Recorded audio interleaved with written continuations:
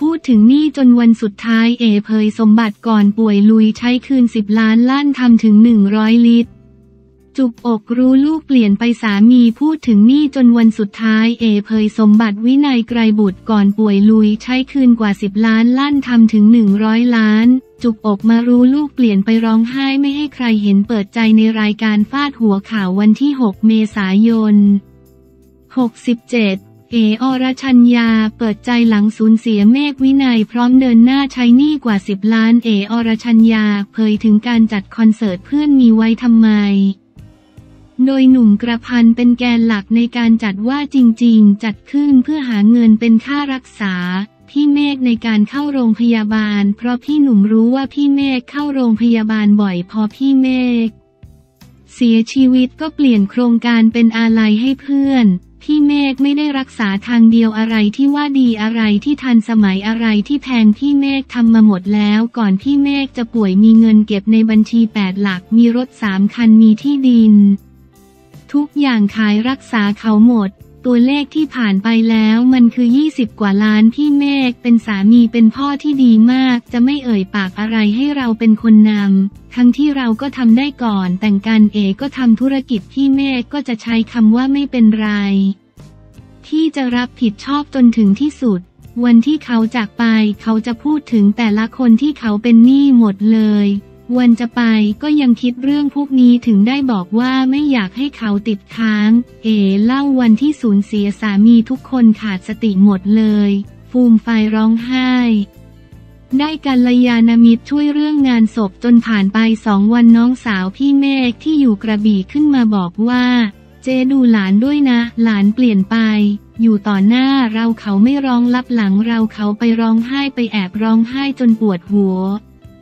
ร้องไห้จนไม่กินข้าวเขาพยายามฮึบพ่อเขาสอนให้อดทน พอลูกร้องขนาดนี้เอต้องบอกกับตัวเองว่าเอตั้งสติฮึบอย่าร้องเด็ดขาด ทุกวันนี้เขาก็ดีขึ้น แต่ก็ยังคิดถึงพ่อเขาอยู่ก็บอกคิดถึงร้องไห้เลยร้องไห้ได้ แต่เมื่อลูกออกไปข้างนอกมีกิจกรรมลูกต้องไม่ร้องแล้ว เพราะเป็นหน้าที่ที่ลูกต้องทำลูกต้องก้าวต่อไป จากนี้ขยายบริษัทให้เร็วทำให้มากกว่าเดิม เพราะเป้าสูง 100 ล้านตอนนี้มีขายอาหารเสริม ขายแร่ธาตุเพื่อสุขภาพรับผลิตอาหารเสริม ขายที่ดินขายหมอนขายผ้าห่มขายปลาสลิดทำหมดครบวงจรเดินเข้ามาไม่มีเสียใจกลับไป การันตีได้จากความซื่อสัตย์ของเรา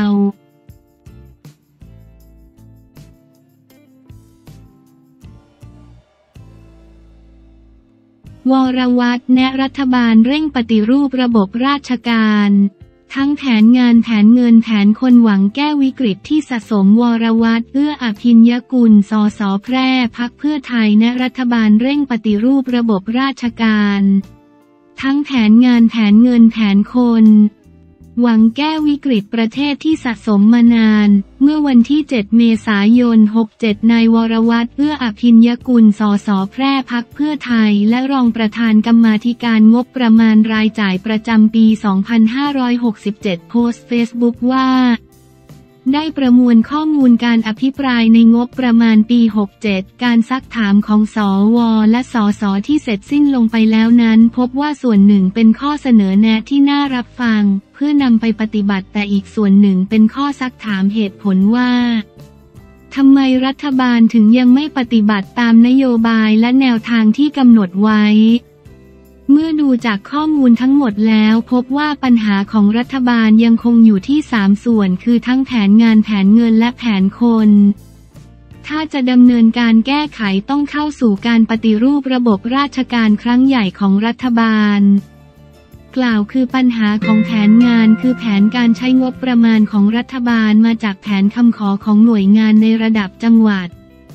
ซึ่งต้องมาจากแผนพัฒนาจังหวัดที่เป็นเพียงข้อมูลโครงการความต้องการของพื้นที่ โดยยังไม่สามารถปรับตัวให้สอดคล้องกับการขับเคลื่อนนโยบายของรัฐบาล ซึ่งมีแนวคิดที่มองปัญหาในภาพกว้าง และมีแนวคิดใหม่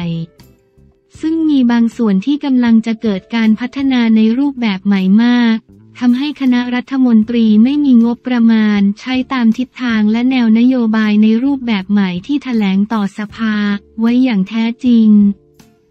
ดังนั้นนอกจากแผนงานพื้นฐานแผนงานยุทธศาสตร์ที่ทำให้ระบบราชการขับเคลื่อนได้แล้ว สภาพัฒน์และสำนักงบประมาณต้องกำหนดแผนยุทธศาสตร์ตามนโยบายไว้เพิ่มเติมอีกด้วย เพื่อให้เกิดความคล่องตัวในการบริหารราชการ หากปรับกรอบไม่ทันอาจต้องขยายกรอบงบกลางในหมวดนโยบายเอาไว้ เพราะยังไม่เห็นปรากฏแนวทางการปฏิบัติตามนโยบายไว้ในหน่วยงานของรัฐที่ตรงกับนโยบายของรัฐบาลอย่างแท้จริงเลย และข้อจำกัดของรัฐธรรมนูญมาตรา 144ไม่อำนวยให้สภาผู้แทนราษฎรนำเสนอความต้องการของประชาชน เพื่อให้รัฐบาลดำเนินการได้เลย ซึ่งที่จริงแล้วในยุคสมัยของโซเชียลมีเดียนั้น ประชาชนและฝ่ายค้านสามารถตรวจสอบการบรรจุการปรับงบประมาณของกรรมาธิการได้อยู่แล้วว่าถูกต้องหรือไม่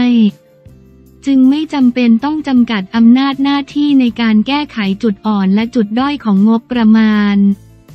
จนกระทั่งไม่สามารถนำเสนอความต้องการของประชาชนผ่านระบบนิติบัญญัติได้เลย ปัญหาของแผนเงินคือระบบงบประมาณที่ถูกกำหนดไว้อย่างแข็งตัวทำให้ทุกหน่วยงานต้องปฏิบัติตามกรอบเดิมที่สำนักงบประมาณกำหนดไว้ โดยไม่สามารถนำเสนอการขอใช้งบประมาณตามความต้องการจริง ๆ ได้เลยทำให้ที่ผ่านมามีหลายหน่วยงานเสนอกฎหมายไม่ต้องนำเม็ดเงินจัดเก็บจากรายได้นำส่งเข้ากระทรวงการคลัง เพื่อให้เป็นงบประมาณตามกรอบที่สำนักงบประมาณกำหนดไว้ จึงทำให้มีเงินประเภทใหม่คือเงินนอกงบประมาณเกิดขึ้นเป็นจำนวนเงินที่มากกว่าเงินงบประมาณที่ตั้งไว้ที่ 3.48 ล้านล้านบาทถึง 5.9 ล้านล้านบาท ในปีงบประมาณ 67 แล้ว ซึ่งในส่วนของแผนงบประมาณนี้จึงเป็นส่วนสำคัญที่รัฐบาลจะต้องเร่งปฏิรูปโดยเร่งด่วนอย่างยิ่งสำหรับแผนคนนั้นพบว่ามีการเกิดขึ้นของหน่วยงานใหม่จำนวนมาก มีความซ้ำซ้อน และบางหน่วยก็ปฏิบัติงานไม่ได้จริง รวมถึงแนวทางการดำเนินการของการบริหารราชการนั้น ดำเนินการตามรูปแบบเดิมมีความแข็งตัวและอุ้ยอ้ายทำให้คณะรัฐมนตรีไม่สามารถสั่งงานได้จริง จึงพบข้อขัดแย้งในการบริหารราชการแผ่นดินเกิดขึ้น ในเกือบทุกกระทรวงทบวงกรม ถ้าดูง่ายๆ จากการสั่งการปราบปรามปัญหายาเสพติด การแก้ไข PM 2.5 ซึ่งเป็นปัญหาใหญ่นั้นจะพบว่า การแต่งตั้งโยกย้ายผู้ปฏิบัติงานในภาวะวิกฤตของประชาชนนั้น รัฐบาลยังต้องรอปฏิบัติตามแนวทางและกรอบการบริหารบุคลากรตามรูปแบบของราชการแบบเดิมๆทำให้การแก้ไขปัญหาล่าช้าและไม่ทันต่อการแก้ไขปัญหาวิกฤตของประชาชนทำให้เห็นได้ว่าถ้าหากรัฐบาลจะต้องการดำเนินการแก้ไขปัญหาวิกฤตของประเทศที่สะสมมายังช้านานนั้น รัฐบาลต้องเร่งการปฏิรูประบบราชการทั้งแผนงานแผนเงินและแผนคนให้เกิดขึ้นโดยเร่งด่วน มีเช่นนั้นปัญหาแบบเดิมก็จะวนกลับมาแบบนี้ทุกปีไม่มีจบสิ้น ขอขอบคุณข้อเสนอแนะและความเห็นดีๆ จากทุกฝ่ายที่นำเสนอด้วยความจริงใจ และเชื่อว่ารัฐบาลน่าจะเข้าใจและนำไปปฏิบัติและแก้ไขเพื่อให้สำเร็จผลตามนโยบายและทำให้เกิดผลดีต่อการพัฒนาเศรษฐกิจและชีวิตความเป็นอยู่ของพี่น้องประชาชนต่อไป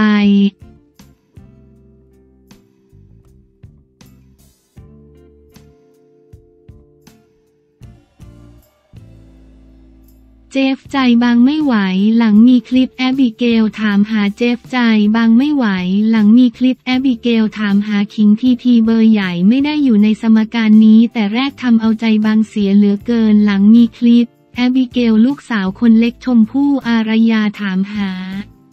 พี่เจฟอยู่ไหนล่าสุดวันที่ 6 เมษายน ได้มีโอกาสเจอเจฟซาเตอร์ที่งาน CHUANG Asia Thailand Grand Debut Night นะ Icon Art and Culture Space ที่เป็นการแข่งขันรอบสุดท้ายของ CHUANG Asia Thailand รายการค้นหาผู้มีความฝันและมุ่งมั่นสู่การเดบิวต์เป็นศิลปินระดับ international ก่อนเริ่มงานได้ให้สัมภาษณ์ถึงการเตรียมตัวมีคอนเสิร์ตใหญ่ของตัวเอง และเรื่องที่แอบิเกลลูกสาวชมพู่อารยาถามหาแฟนๆ ที่มีบัตรเตรียมตัวไปดูคอนเสิร์ตเจฟ